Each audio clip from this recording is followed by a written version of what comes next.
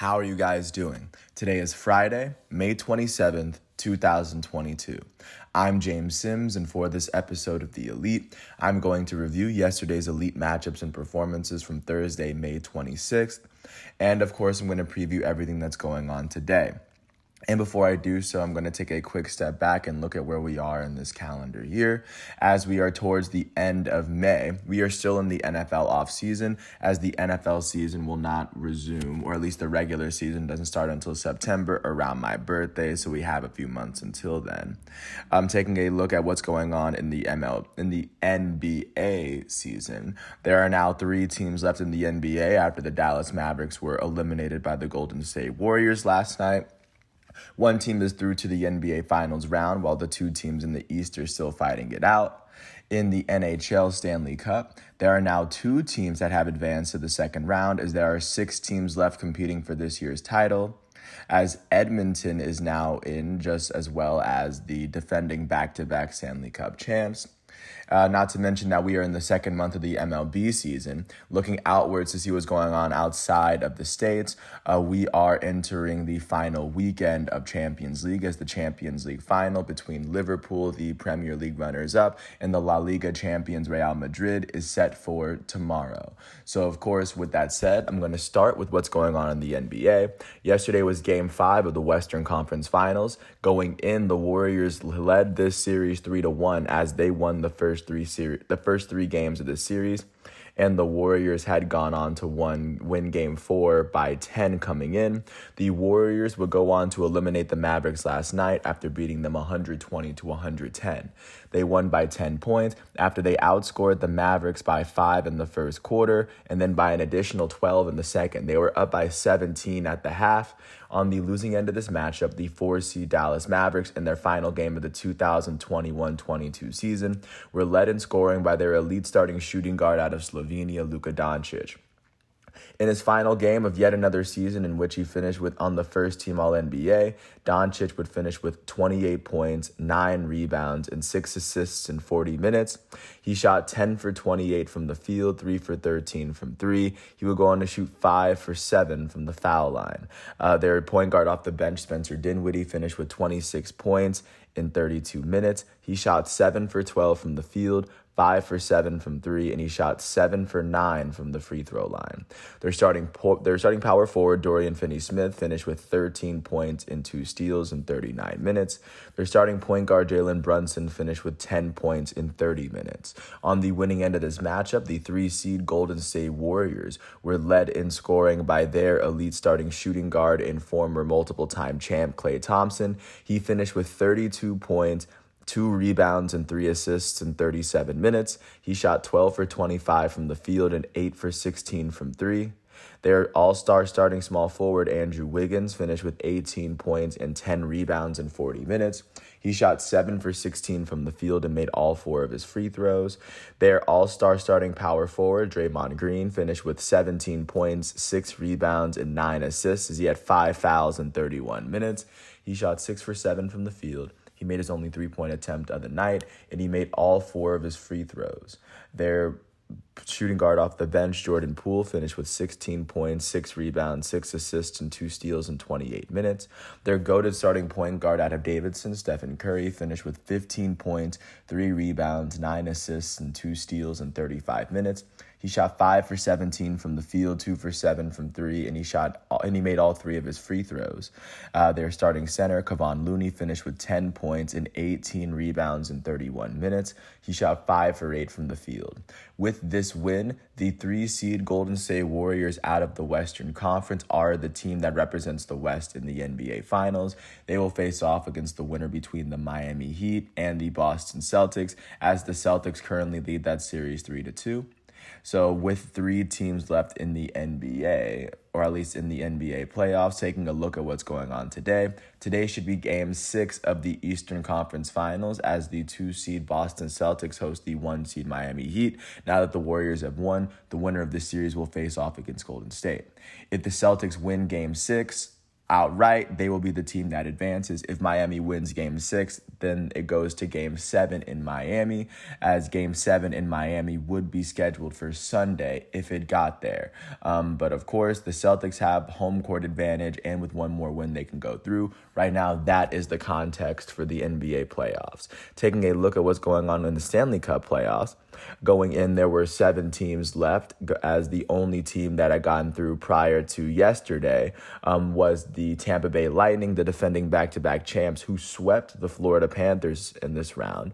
Um, the first matchup was the Metropolitan Divisional Final, as the two seed, her as the one seed Carolina Hurricanes went on to host the New York Rangers. Um, going into this matchup, the series was tied at two, as so far through the first five games of this series, the home team has won. The Hurricanes won games one and two. The Rangers won games three and four. The Hurricanes are going to win game five, three to one, as New York tied them at one in the first period. The goal that put them ahead was from Teuvo Teravainen, Teravainen uh, off of a power play in the second period. And then their third goal come from Andrei Svechnikov um, to, of course, put them above and put them one win away from the Eastern Conference Finals. The top star of this game went to Carolina center Vincent Trocheck as he had a goal on the day. He had their first shorthanded goal to put them ahead in the first period. The second star of the game went to Carolina's right winger, Andrei Svechnikov, whose third period goal would put the cherry on top. And the third star went to Brett Pesce, Carolina's defender, as he had an assist. With this win, the Carolina Panthers are up 3 to 2. They have to win either game 6 or game 7 if they want to advance to the Eastern Conference Final to face off against the Tampa Bay Lightning. And with this loss, the Rangers are now trailing this series 3 to 2. They have to win game 6 at home in Madison Square Garden tomorrow on ESPN and they have to win game 7 in Carolina if they want to get through and face off against the Lightning. But as of right now, they are facing elimination, but they have not been eliminated yet taking a look at the second game that took place yesterday. It was the final uh, matchup of the Pacific Divisional round as the one seed Calgary Flames hosted the two seed Edmonton Oilers. Coming into this matchup, Edmonton led the series 3 to 1. After the Flames won the first game, the Oilers would win game two in Calgary uh, by two. They would, and they would play games three and four in Edmonton, where they would win game three uh, by three. They won it four to one. They would win game four by two goals. They would go on to win game five in overtime, uh, five to four, as they would be the team out of the Pacific, out of the Canadian Pacific that will advance to the Western Conference Final. Um, as the game winning goal would be scored by Connor McDavid in overtime as neither team scored in the third period. The second period saw seven goals total as the uh, as of course this series ended up being one for the ages. I imagine one that Canadians are going to resonate with for a long time. Um, but the star the, fir- the first star of the game went to Edmonton's left winger Zach Hyman as he had a goal and two assists. Um, the second star of the game went to Edmonton center Connor McDavid who scored the game winning goal. And then of course the third star went to Calgary's center, Mikael Backlund, as he would have a goal and an assist. Um, and with this win, the Edmonton the Edmonton Oilers have won this series in five games. They are going to be the team that advances to the Western Conference Final out of the Canadian Pacific, the only team out of the West in Canada remaining. They will face off against the winner between the Colorado Avalanche and the St. Louis Blues, the one and three seeds in the Central Division. As right now, Colorado leads that series three to two. Um, and with Edmonton advancing, they are now the second team to have made it to the conference final stage. Um, and considering they're going to be waiting, it is going to be quite um, some suspense building up as the Stanley Cup inches day by day. But as of right now, with this loss, the Calgary Flames, after having finished with a uh, 50, 21, and 11 record, and having beaten the Dallas Stars in the wild card round, they see their 2021 22 season come to an end. Um, and now, with six teams left in the NHL, taking a look at what's going on today, today should be game six of the Central Divisional Final as the three seed St. Louis Blues host the one seed Colorado Avalanche. As the Blues were able to um, keep themselves alive in game five by winning off of an overtime goal. Um, They now host the Avalanche as the Blues have to win games games 6 and 7 if they want to advance. Colorado has to win game 6 or game 7 to get to the second round as the Blues very well could be eliminated today as the Avalanche eh, and the Blues both are looking to face off against the Edmonton Oilers in the second round. So that is what's going on in the NHL. Taking a look at what's going on in the MLB, starting off with a surprise turn of events, uh, the Cincinnati Reds will go on to host the Chicago Cubs. The Reds, the teams that went in, the team that went in holding the worst record in the MLB, win percentage wise, would go on to beat the Cubs twenty to five after also putting up twenty runs. They would go on to score eight runs in the third inning, as they would, of course, just pour on the runs and then just not let it stop. On the losing end of this matchup, the Chicago Cubs will see the loss go to their starting pitcher. Um, their starting pitcher in this particular matchup I guess the loss for Chicago is given to Justin Steele. Steele would pick up loss number five of the season. He allowed seven earned runs off of seven hits and two innings pitched. He struck out two batters and walked two. With this loss, Steele is one and five. In the Cubs batting lineup, their center fielder in this matchup, Christopher Morel, was the only Cub who had a multi hit game as he went two for five with a run. On the winning end of this matchup, the hometown Cincinnati Reds would see the win go to their starting pitcher, Hunter Greene, out of Los Angeles. He allowed five earned runs off of seven hits and five innings pitched. He struck out six batters and walked two. With his win, he's two and six. In the Reds batting lineup, their center fielder Nick Senzel would end up going four for four with an RBI and three runs.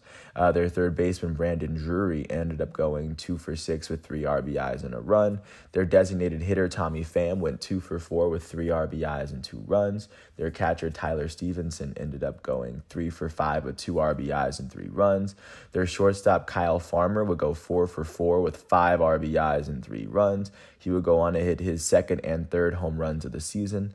Their left fielder, Albert Almora Jr., would end up going three for five with three RBIs and three runs. And with this win, the Cincinnati Reds are now 14 and 30. That is the worst record in the National League Central at this very moment.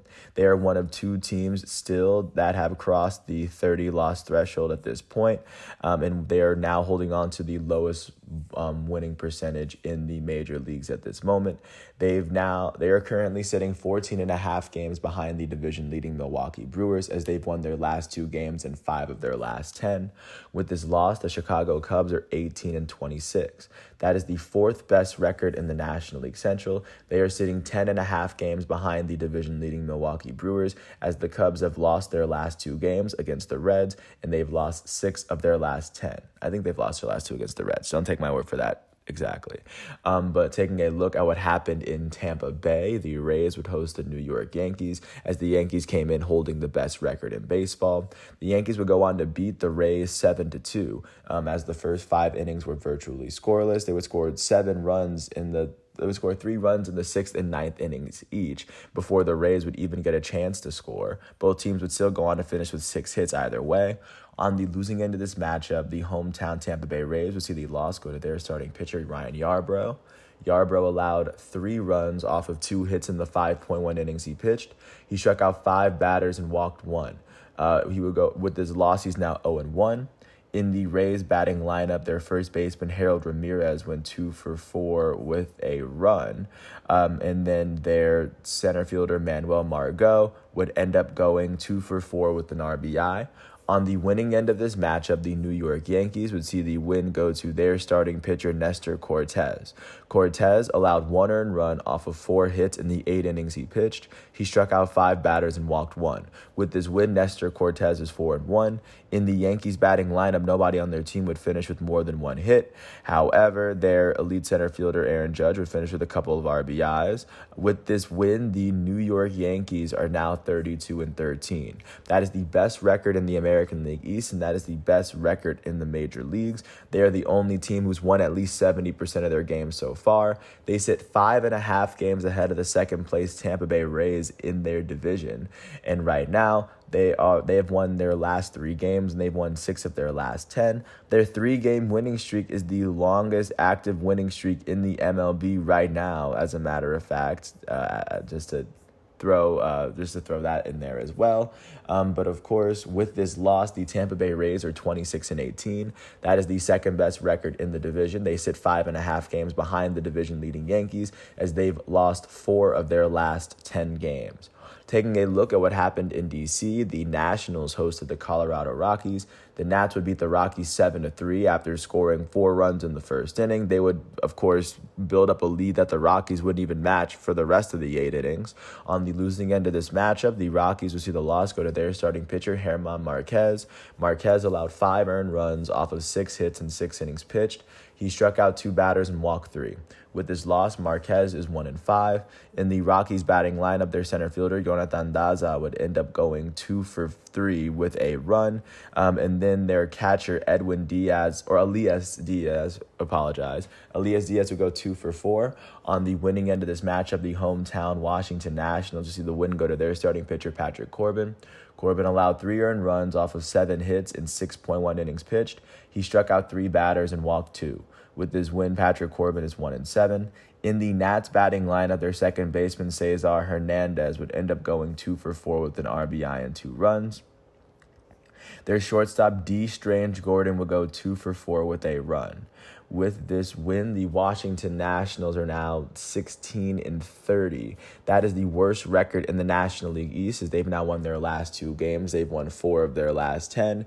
They now sit 13 games behind the division leading New York Mets at this moment. With this loss, the Colorado Rockies are 20 and 24. That is the worst record in the National League West. They are sitting 10 games behind the division leading Los Angeles Dodgers as they've lost their last two games and they've lost seven of their last 10. Taking a look at what happened in Detroit, the Tigers hosted the Cleveland Guardians.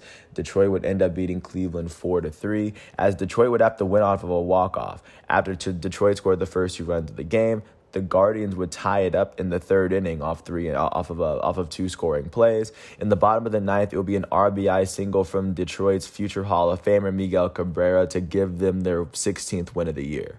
On the losing end of this matchup, the Cleveland Guardians would see the start go to Konnor Pilkington. Pilkington allowed three earned runs off of seven hits and 3.1 innings pitched. He struck out four batters and walked four. The loss would go to Cleveland's closer Trevor Stephan.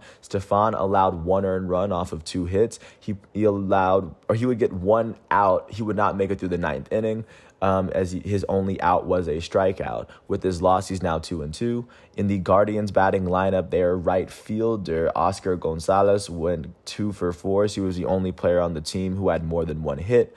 On the winning end of this matchup, the hometown Detroit Tigers would see the start go to Tarik Skubal. Skubal allowed three earned runs off of five hits and seven innings pitched. He struck out five batters and walked one. The, the win would go to the Tigers closer, Gregory Soto. Soto allowed no earned runs and only one hit in the ninth inning, and he would go on to strike out a batter as well. With this win, Gregory Soto is 2 and 2. Their left fielder, Robbie Grossman, would end up going two for four with two runs. Their future Hall of Fame designated hitter, Miguel Cabrera, went three for four with two RBIs. With this win, the Detroit Tigers are now 16 and 28. That is the fourth best record in the American League Central as they've won their last two games and they've won five of their last 10. They are sitting 10 and a half games behind the division leading Minnesota Twins. With this loss, the Guardians are 18 and 23. That is the third best record in the American League Central as they sit seven games behind the division leading Minnesota Twins. They've lost their last three games. Their three game losing streak is actually the longest active losing streak in the MLB right now. They've lost seven of their last 10. Taking a look at what happened in Atlanta, the defending World Series champs, Atlanta Braves, hosted the Philadelphia Phillies as they're fighting out for the second best record in the division behind the Mets. The Phillies would beat the Braves four to one as the Braves scored their lone run in the ninth in the bottom of the ninth after the Phillies had already scored their four. On the losing end of this matchup, the hometown Braves saw the loss go to their starting pitcher Kyle Wright. Wright allowed three earned runs off of three hits in 6.2 innings pitched. He struck out five batters and walked two. With this loss, Kyle Wright is four and three. Um, in their batting lineup, their first baseman Matt Olson went two for three with a run. And on the winning end of this matchup, the Philadelphia Phillies saw the win go to their starting pitcher Aaron Nola. Nola allowed one earned run off of five hits in 8.1 innings pitched. He would strike out 10 batters and he would walk none. With this win, he's now 2 and 4. In the Phillies batting lineup, their only player with more than one hit was their center fielder, Odubel Herrera. He would go 2 for 4 with two RBIs. With this win, the Philadelphia Phillies and the Braves are now 21 and 24. They are both sitting seven and a half games behind the division leading New York Mets. The Braves have lost five of their last 10, while the Phillies have won four of their last 10. Taking a look at what happened in Minneapolis, the AL Central leading Minnesota Twins hosted the Kansas City Royals, and the Royals, holding the worst record in the division, were able to beat the Twins three to two off of a three-run eighth inning. Um, they would tie the game off of a two-run double from Whit Merrifield, and they would take the lead off of an RBI double from their rookie Bobby Witt Jr. On the losing end of this matchup, the hometown Minnesota Twins would see the start go to Devin Smeltzer. He would allow no earned runs off of two hits in the seven innings he pitched. He would strike out six batters and walk one. The loss would end up going to the Twins' first relief pitcher, Tyler Duffey. Duffey allowed three earned runs off of four hits in the inning that he pitched, which was the eighth. He would walk a batter. He would pick up his third blown save of the year, and with this loss, he's two and three. In the Twins batting lineup, their elite shortstop Carlos Correa went two for five. Their catcher Gary Sanchez went two for five as well and then their second, or I guess their infielder Jose Miranda, their first baseman, went two for four with a run. On the winning end of this matchup, the Kansas City Royals, which see the start go to Daniel Lynch. Daniel Lynch allowed two earned runs off of seven hits in the 5.1 innings he pitched. He struck out six batters and walked two. The win would go to the Royals' second relief pitcher Josh Staumont. He would allow no earned runs and no hits as he would pitch the entire seventh. He would strike out two batters, and with this win, he's two and one in the bullpen, their closer, Scott Barlow, would pick up the save. He would allow no earned runs and only two hits in the eighth and ninth innings, as he would strike out two batters. He would pick up his fifth save of the year. In the Royals batting lineup, nobody on their team would finish with more than one hit. Their elite right fielder, Whit Merrifield, picked up a couple of RBIs for himself. With this win, the Kansas City Royals are now 15 and 28. That is the worst record in the American League Central, and at the moment, that is the worst record in the American League.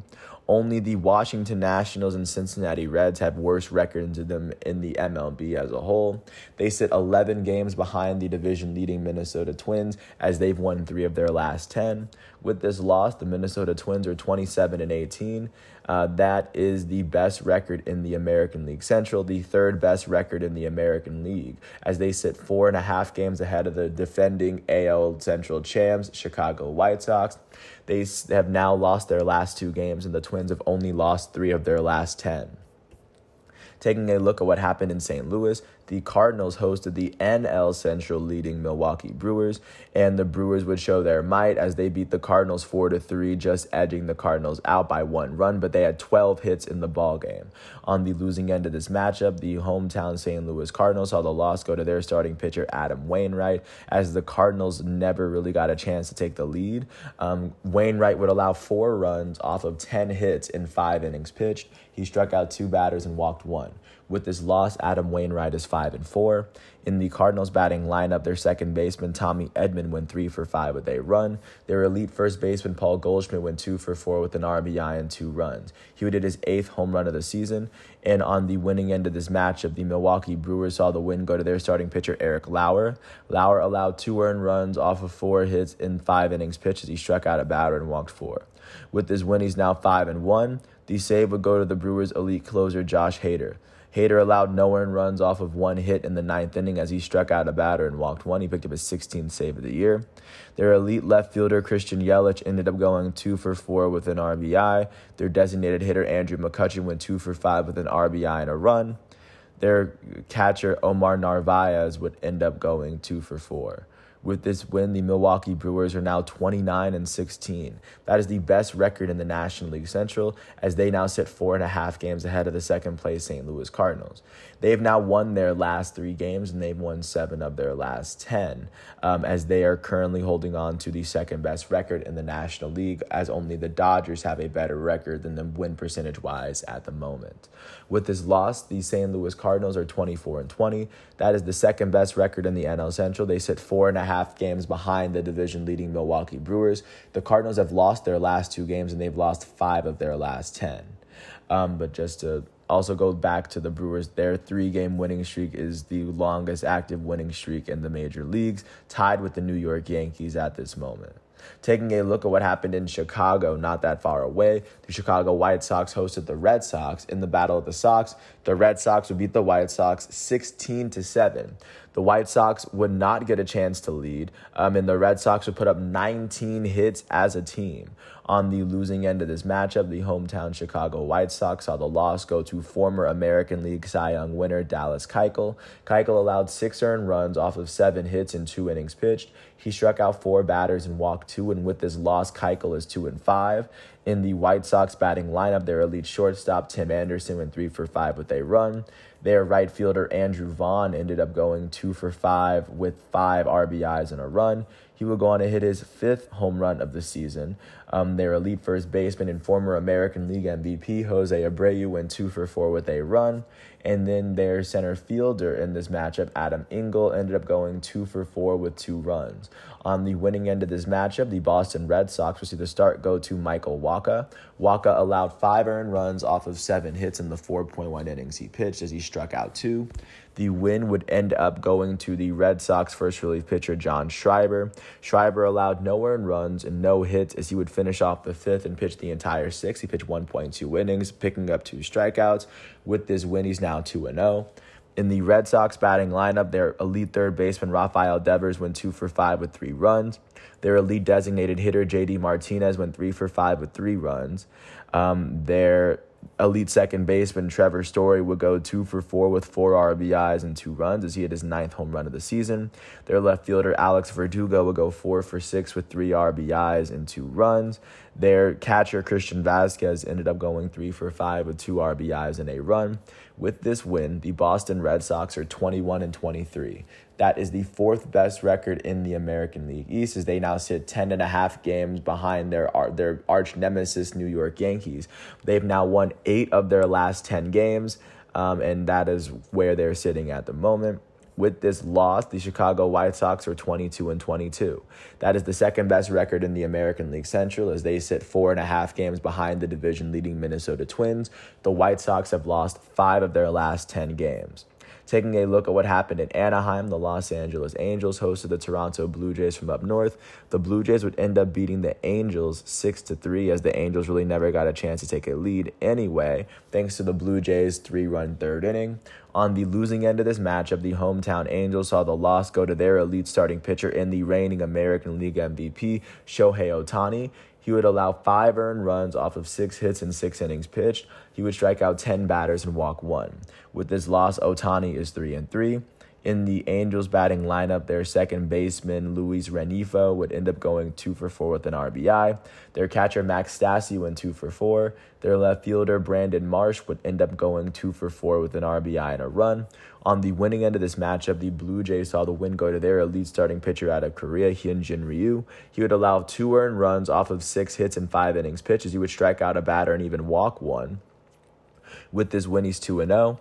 In the Blue Jays batting lineup, their center fielder George Springer went two for four with an RBI and two runs. He hit his ninth home run of the season. Their elite designated hitter Vladimir Guerrero Jr. would go one for four with an RBI and a run as he hit his ninth home run of the year. Their elite shortstop Bo Bichette went two for four with two RBIs. With this win, the Toronto Blue Jays are 24 and 20. That is the third best record in the American League East. They sit seven and a half games behind the division leading and American League leading New York Yankees. The Blue Jays have won their last two games and they've won six of their last 10. With this loss, the Los Angeles Angels are 27 and 19. That is the second best record in the American League West.